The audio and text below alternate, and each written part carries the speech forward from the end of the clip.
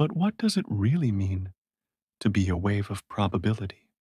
It means a particle can exist in multiple states at the same time, a phenomenon called quantum superposition. An electron does not choose a path at the double slits. It travels both routes at once until we observe it.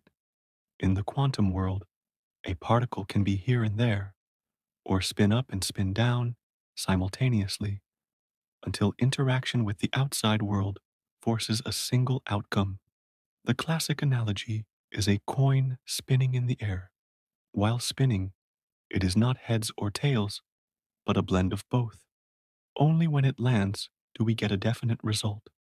Quantum superposition is that idea taken to the extreme, not as a blur from motion, but as a fundamental state of being.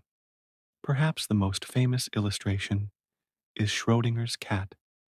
Imagine a cat sealed in a box with a vial of poison triggered by a radioactive atom.